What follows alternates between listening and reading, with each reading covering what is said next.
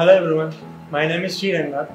I'm working in CSD as a junior research fellow with the GIS team for the past few months. Talking about my department, CSD is indeed a transdisciplinary center that facilitates virtual labs, virtual reality, e-mobility, GIS, and survey-based workspace under its belt. CSD possesses state-of-the-art equipment such as LiDAR, DGPS, drone, and sonar, and much more. During my tenure here, I was fortunate enough to work with few of them. As for the projects, we worked on structural and comprehensive analysis, hydrological aspects of dams, the Sagarmala projects, environmental impact assessment projects, bathymetry analysis for various projects, and analysis of various coast-based facilities.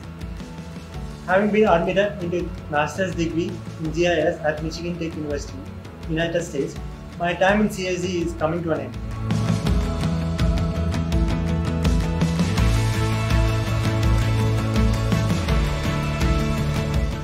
Lastly, I am thankful to all my colleagues who have made this journey of mine a memorable one. Thank you.